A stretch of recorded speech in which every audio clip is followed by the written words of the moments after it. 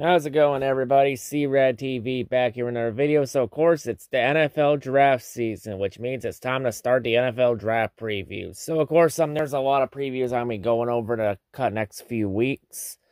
So, yeah, this will be fun to do. So, yeah, we because the Lions they got a lot of needs and they got a lot of holes to fill up in the draft.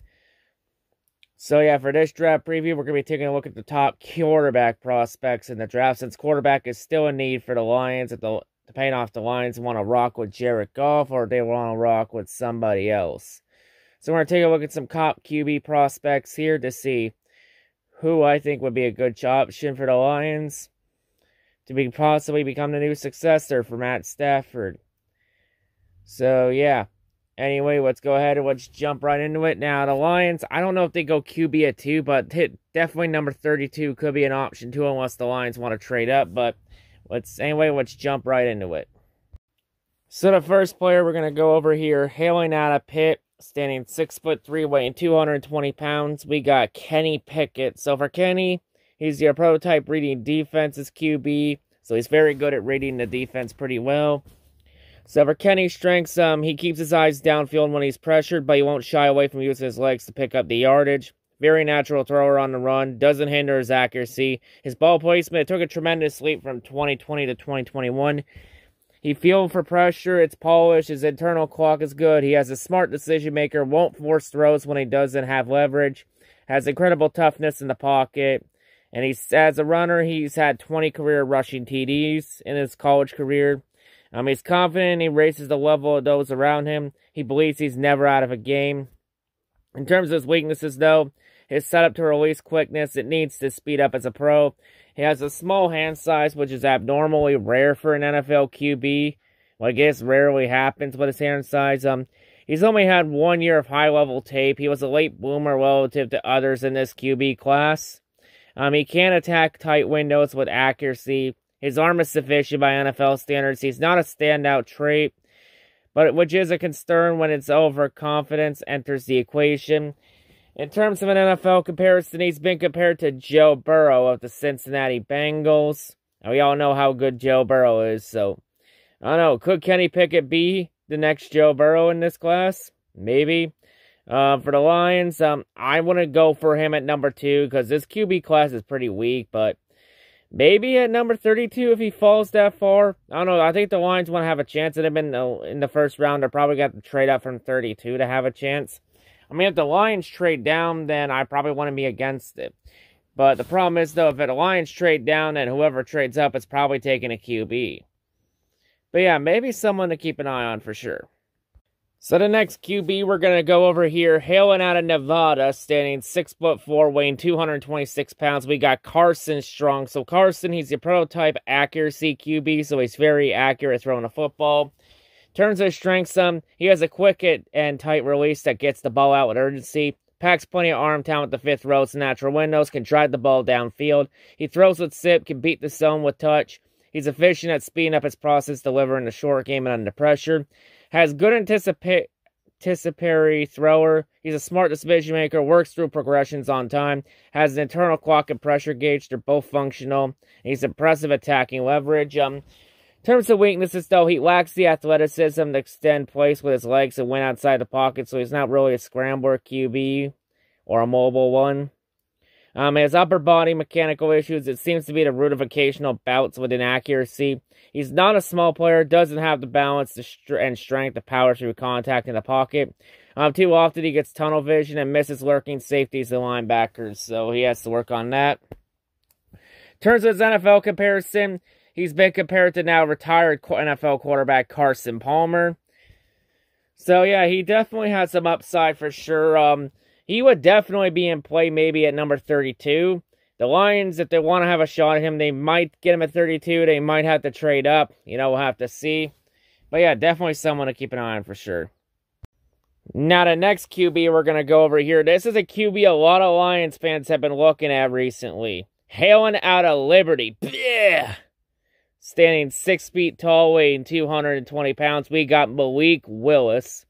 So for Malik, he's your prototype arm strength QB, so he has a very strong arm. That was one of the things that stood out for Matt Stafford was arm strength. So definitely arm strength. That's something to keep an eye on. So, um, in terms of Malik Willis' strengths, um, he's a strong and physical imposing runner, can break tackles and create on yardage. He's a natural thrower, can shift arm slots and slip through past linemen. He's instinctive when he feels the pressure and can adjust to it. His deep ball time and his placement, they're impressive. Crisp passer on, on rollouts, can switch into running mode at any moment.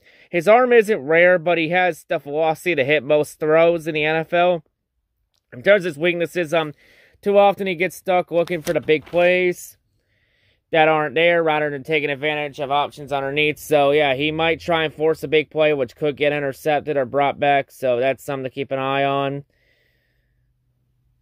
Um, he needs to throw more, with more consistent anticipation. Um, too often he looks for cutbacks as a runner instead of taking what's given to him. Um, oh, he allows moments of havoc to overtake him and make mistakes. Um, in 2021, he threw 12 interceptions, and most of those mistakes when he come by him trying to create magic in unwinnable places. So yeah, definitely something to keep an eye on. Um, in terms of his NFL comparison, he's been compared to Jalen Hurts of the Philadelphia Eagles. So yeah, Hurt Malik Willis, he definitely has some upside for sure, but I know a lot of people are talking about taking him at the number two pick. Um, you know where I stand with that. In terms of number two pick, hell no. Malik Willis is not worth the second overall pick. Now, if the Lions trade down from number two and get him, then I probably wouldn't be too pissed about it, but someone to keep an eye on, but I would not take him at number two. But if the Lions trade down, then whoever's trading up, it's probably, with the Lions, it's probably going to take Malik Willis. That's the thing. But yeah, something to keep an eye on for sure. It's something that could decide what the Lions do at number two, if they're going to trade down or not.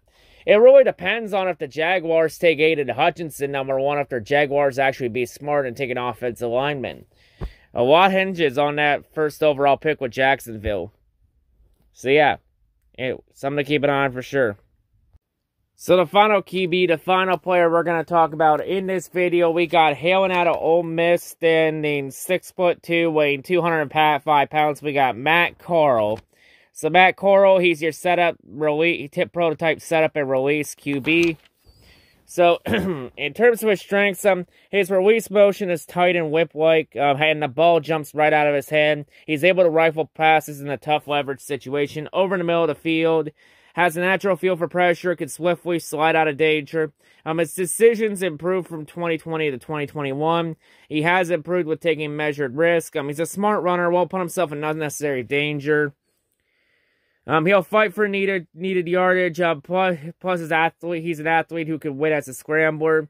Um, he possesses good instincts and has good reaction quickness. Um, he in terms of weaknesses, um, he can get too reliant on his legs to make a play. Gets tunnel vision too often. His ball placement and control can take a dive when he's under pressure. He's still learning how to layer his throws over linebackers that can deliver with NFL starter touch. His tendency to pull his release late in the motion that leads to random misfires. He's not a consistent anticipatory passer. Yeah. Um, in terms of his NFL comparison, he's being compared to Zach Wilson of the New York Jets. So yeah, Matt Matt Corral, he definitely has some upside for sure. I think he's definitely someone that could be in play for number 32. Lions, if they want him, they might have to trade up for him you buy a few picks from number 32 to be perfectly honest, I don't see the Lions staying at 32 in the draft. I think they're going to trade up from 32, to be perfectly honest. Either that or trade down one to two. I don't think they're picking at 32. I think they're going to make a trade for that with that pick. But yeah, Corral definitely something to keep an eye on for sure. But yeah, anyway, that'll wrap it up here for this NFL draft preview. So yeah, quite a few interesting QB prospects to keep an eye on for sure. But I'll say one thing about these prospects none of them are worth the second overall pick. Not a single one. The only one that might be close to even being worth it is maybe Kenny Pickett, and that's about it. Or Malik Willis, but neither of them are the number two overall pick. Like, to be perfectly honest, for this QB class, this QB class is pretty fucking weak. Like, this class is pretty weak. Like, the only QBs worth a damn in the first round are probably Kenny Pickett and maybe Malik Willis. That's about it. I'll say though, um, 2023's NFL draft class, that class is a QB class. There's a lot more talented QBs in that class than this one. But anyway, that'll wrap it up here. That will be the start of the NFL draft previews that go all the way until mid to late April. And I believe the eh, the coup de grace for this will be I will do a full 32 team NFL round one mock draft for the first round by the end of all this. So yeah, anyway, that'll wrap it up here. And that's all I gotta say. Hope everyone has a great day, and I'll see you on whatever I make next. Peace.